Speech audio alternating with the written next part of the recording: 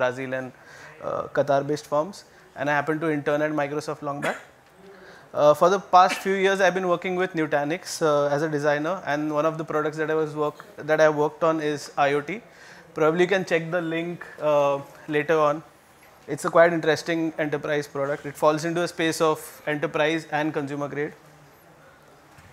Um, in my free time, I, I sketch. I sketch a lot. I paint a lot. That's my Instagram handle in case anyone wants to check that out as well. Now let's get to the point.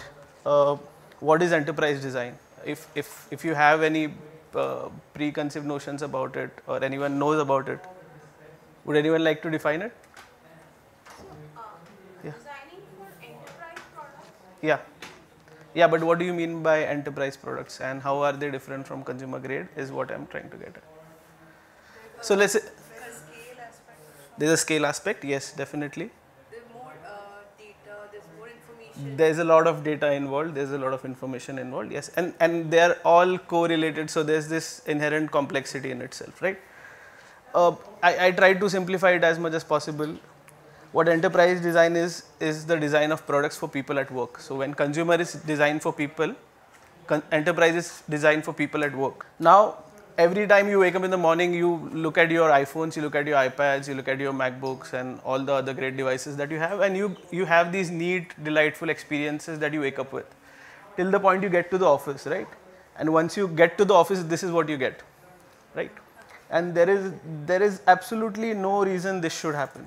I mean the enterprise solutions can be delightful they can be neat they can be efficient and at the same time they can be as well designed as our consumer grade uh, experiences so what I've tried to do here is for the past two years I was working on an IoT product and again it fell into the enterprise zone. I tried to find out things like tips and tricks that I could use to get this enterprise experience as close to the consumer you know uh, design as possible.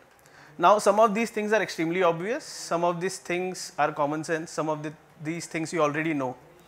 Uh, some of these things could be wrong. Like this, these are my opinions in some places. But anyway like they've helped me a lot in designing in the past and probably uh, in some way if they can help you i'll be really happy about it. So let's go ahead. Now as we said the first thing that is extremely different in the case of a enterprise design problem is the domain is alien you never have a clue of what sort of operations you are going to design for. Sometimes you are designing for space, sometimes you are designing for healthcare, sometimes you are designing for defense, and there are a lot of these different domains that you are never aware of. So that's that's one thing. The domain is always unrelatable. Now, how do you navigate through this problem? How do you deal design for something which is foreign to you? There is no escape to it. You you have to do the research. There is no other way you can come up with an efficient solution without really studying that domain. Okay. So this is this is the obvious point. Moving on to the next part, the user is different in this case. So I am very sure all of you have heard this. We need to design for our grandmoms, right? Make a product so simple that even your grandmom can use it. But in enterprise, that's different. That we are dealing with a different breed of uh, users, and definitely they are not your grandmoms. So what you should keep in mind is uh, you should always keep in mind the trinity. One is the business guy who is going to sign the check, right? One is the provisioner, the managers who are going to distribute these products across the company, and then you have the end user who's going, who's like a developer or someone who's actually going to use that product. So when you are designing, just keep in mind that you need to appeal to business goals, execution goals, and then the goals of the end user. The user is expert, as I mentioned, we are not designing for our grandmoms. In this case, the user most probably has more knowledge ab- uh, about his domain than you have. So the user research somehow, like in some places, becomes easy. You just need to ask. You just need to ask the right questions, and you'll get the right data, right? So don't like. Uh, it's, it's, it's okay to rely on what the user says in this case. Otherwise, you have to decipher. In consumer grade, you have to understand what they really meant, but here it's slightly easier. But this is another problem. Like if, if I if I ask you how did you get here, what would you say? I researched and I, No, no, no. As in how did you get to the conference? I just registered. I observed people that people will be attending. This professional will be attending. I'll make it simpler. How did you uh, come to this hotel? Travel? You? You took a cab and you came here, right? So whenever you ask someone how did you do something, they tend to simplify that process. like take I took a cab and I came here. But that's not how it happens, right? You you dress up, you check if you have money in your Paytm and whatnot. If, if you added your credit card, then you book and you wait for the Uber, then you call the guy. So there's always these invisible steps involved in getting that work done, right? So don't uh, accept everything that the expert user says. You need to investigate a bit. So you need to sit beside them and really observe them doing that task. Now, the biggest problem that I feel in enterprise is the access to the user is difficult. So, like in Nutanix case, we have like 60% of the business is from federal clients. And these federal clients are federal bureaus of uh, the Americas and they, they have no intention of giving you any information. They are going to keep their data as confidential as possible. Even if they have problems, they have their own support. They don't even reach out to your support, uh, support teams. So in such cases, it's extremely difficult to uh, talk to the user or get his feedback, get the user research done as well. So how do we how do we deal with that? So you should find surrogates. There's a good chance that around you, within your team, you have someone uh, whose role is as close, I mean, close to what you're designing for, to whom you're designing for. So if you look around in your social circle, if you look around in your team, if you look around in the engineering org of your organization, you'll probably find someone who is, uh, you know, close to that role and you can ask them. And PMs definitely, they, they are gods in this case. They are the ones who can help you the most.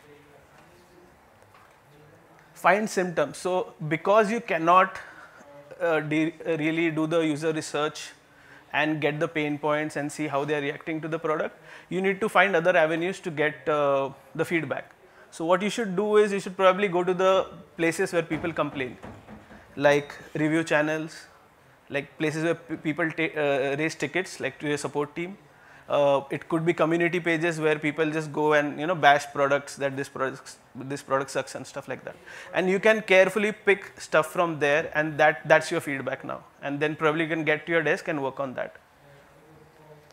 The next problem as you correctly mentioned is the scale. The scale is huge and really really huge like the IoT product that I was designing for a single person on a single instance was handling around 2 lakh different IoT devices. Okay, and that's that's huge, around like spread across some five airports. So the scale is huge. So whenever you start a project that has a huge scale, you should always define it. So let's say you started with something like a uh, a background app for Uber. You should always define a ballpark figure, which you know, which is your north star now. So you say, uh, I'm going to design for thousand operations for one lakh users in a single instance and that's your North Star now. That's what you design for. And but it's, it's, it's easy to get intimidated once you start talking about those numbers, right? I want to design for 1 lakh people who are going to use this one product at the same time. So it's going to get extremely difficult and intimidating in the beginning.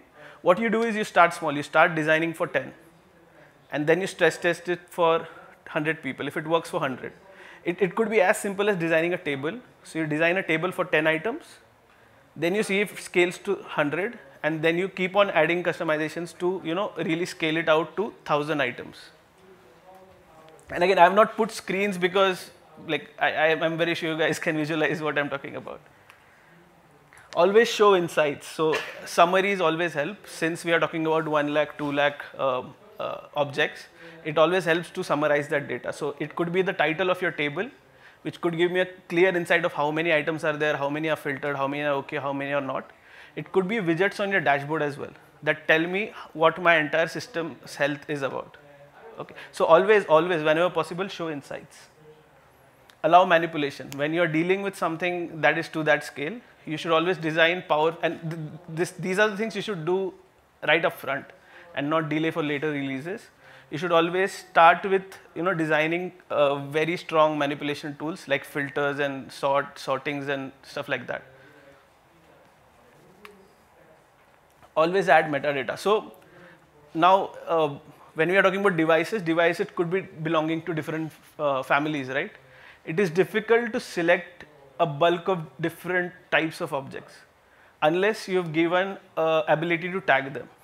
So every time whenever there is a creation workflow, whenever you are adding something to your uh, systems, make sure that you provide uh, an option to tag it. So now once you've tagged things, let, let's say blue shirt, and I tagged every person walking into this hotel. Now, even if that person is a male, female, old, young, doesn't matter. If I select blue uh, shirt tag, it's going to automatically select all the people wearing blue shirts here, and that makes my job easy later on. Introduce modularity again, yeah. What do you mean by metadata in terms of the application? In terms of application, Yeah. so uh, let's say your application is built of different things. I mean, I'm just building an example on what you said. So let's say your application is built of like scripts, and you have your storage somewhere else. Now imagine you have hundreds of these. You have hundred scripts, you have hundred uh, storage accounts, you have hundred uh, like uh, ML models, and you build an application on top of it, right? Now, while creating that application, I can tag it by saying healthcare or uh, UX India conference. Okay, I tag that application. Now, all the items below it get tagged with UX India conference. Now, tomorrow I have to build, like the next year, I have to build an application for UX India again. I don't need to scan that entire list and you know find uh, the storage accounts that are assigned for UX. I can simply select assign everything that is tagged with UX India to this new application, and boom, that's done. So that's what I mean by smart tagging. That, does that answer the question? Yeah. We suddenly went technical, is it? okay. So it, it's complicated. Obviously, when you have something at such a scale and you have so many operations going around, it's bound to get complicated. But I really find it satisfying. So I'd like to give an example here. Let's say you walk into a restaurant, okay, and you sit on the table. What is the next thing that happens? Yeah. Look out for it. Sorry. Ask for a menu. Yeah. Or the the waiter gives you a menu, Yeah. right? Uh, The moment you sit down, because the waiter understands your intent. He understands that you are not here to like play football or something. He knows you are in a restaurant. You've sat on a table, so you are going to order. So he gives you the menu that's uh, mirroring the intent of the user. And in all the ways possible, in your enterprise solution, you should try and reflect the intent of the user. So in Nutanix, we have something like one-click upgrade. So usually upgrading a particular, let's say, software would take you to do 20 steps in, in an enterprise world. But on your phones, it's, it's, it's just a click of a button, right? Because it's understanding your intent of updating that software and it takes you there. The system drives it. You don't need to take all the efforts. So we, we tried to do something uh, uh, similar in the Nutanix uh, environment. We, we provided one click, so you just click upgrade and the system figures out the rest. So always make it intentful. Have an opinion. So let's say you, you you're struggling you're struggling with the menu. You're struggling with deciding what you want to eat. Now the waiter looks at you struggling and he comes to you and says, "Sir, order biryani." What he's doing is he's having an opinion about your entire like he reads the situation and he has an opinion about it. So he's going to say he's going to suggest something that he feels is right for you right so even as designers we should have an opinion even if the uh, user is an expert like whenever we, we are designing dashboards we should have a very strong opinion about what should go on that dashboard because there's so many stats to show and everything is important for the developers but we need to really filter out things that we think are important and obviously it has to be based on an educational guess and research simplify structure. So a lot of enterprise um, products, especially the legacy ones, they are they have a problem with this. So you you have a side navigation bar, you have a top navigation bar, and there's there are nested uh, menus and stuff like that. What this does is it it makes it extremely complicated to wayfind. So whenever you're designing a enterprise solution, try and stick to a single type of navigation. So if it's sidebar, then sidebar. If it's top navigation, top navigation. Stuff like if it's search only, then search only. But try and simplify it, introduce some hierarchy. Not everything is a first class citizen, right? So you, you really need to pick your first class citizens and bucket them together and then show them as groups in your navigation. Now, another thing that happens is we all have RBACs in our enterprise uh, solutions, right? We have role-based access control. What I used to do initially, I used to design a very generic uh, uh, workflow, and then I would say ki isko ye nahi. This role will not see this entry field. That role will see these two additional fields. Now what does that does it gives a very fragmented experience when they are actually using it, when these roles are actually using it. So later on I started re-strategizing and for every role that I had, I started redesigning that entire experience. And what that helped me do is I could now efficiently, uh, you know, customize it to that particular use case. which made his job simpler. So always visualize. Um, human beings, obviously, we we uh, read visuals more efficiently than text. Uh, so whenever you have a very complicated environment, complicated system, try and use visualizations for the same. Always assist. This is extremely important. Like uh, things like showing the right time zone. So if you're designing, if you're uh, giving an entry field for entering time, we somehow forget to show the time zone of that particular object. So I don't know if I'm entering my time zone, I'm entering the time in my time zone or somebody else's time zone. So stuff like that, like small instructions that make the uh, uh, information extremely obvious is what I meant. Now the, the next point is efficiency is, is, is paradigm. So usually whenever we are on a crossroads where you could design a simple solution but less efficient or you could design an efficient solution which is slightly more complex, always go for a solution that is slightly more complex but is more efficient. Because we have expert users, because we have power users, if you hide it, uh, then the user will have to dig it deeper. So you are making the job even more difficult now. So one crore to someone who guesses what that circle means. Wild guesses. What? What? Are, what? Yeah. A glass. Anyone else? The moon. Okay. So it's a car, but I oversimplified it. So that's what I mean. You should never oversimplify stuff. You should not make it so simple that it, it, it renders itself unusable. Choose trends wisely. Again, like in uh, gradients, if, if I uh, put gradients on the traffic signal, it's not going to make sense, right? So be extremely careful when you are choosing fancy graphs that don't mean anything or you're choosing gradients that probably confuse the user further. Be extremely careful with those kind of trends automate the obvious. So if I'm making a list of everybody who's uh, entering this building, you should not let a guy sit and manually enter everything, right? You should just automate that entire process, show your card, scan something, and boom, your information is in the system. So always try to automate the obvious, but also give an ability to create policies to the user. So as a user, I should be able to create my custom automatizations. I should be able to create policies that, like if not then policies, which help me uh, you know, automate things that uh, the way I want them to. Always, always give contextual actions. Uh, again, I think it's it's pretty evident uh, what I mean. Um, like, uh, if if you want somebody to fill a key, you should provide an action that lets you go, that helps you navigate to that page where you can get that authentication key, and you know, uh, makes the job extremely simpler always allow personalization. I think again, it's an obvious point on your dashboards or on your table. I should be able to select what sort of columns I want to see in my table. So always have the, uh, uh, those options. I should always be able to uh, select my widgets, see the kind of data they are displaying on my dashboard. Because every user is unique and every task is different, right? And this is, this is another thing that I learned the hard way. I was obsessed with, you know, designing everything. So when I was working with developers, there are some developers tools that are more efficient than uh, the graphics user interface that we guys design. But I somehow could not accept the fact that I kept on iterating on it, kept on iterating on it, and it, it all failed. everything was less efficient than the developers tool, developer tools that they had. So in the next part, what I tried to do is I tried to design around it. So we tried to plug in, uh, let's say CLI, into the UI and we uh, started providing like support for that particular developer tool. So don't fight CLI is what I meant. Mistakes are expensive, obviously you all know about it. So show secondary implications.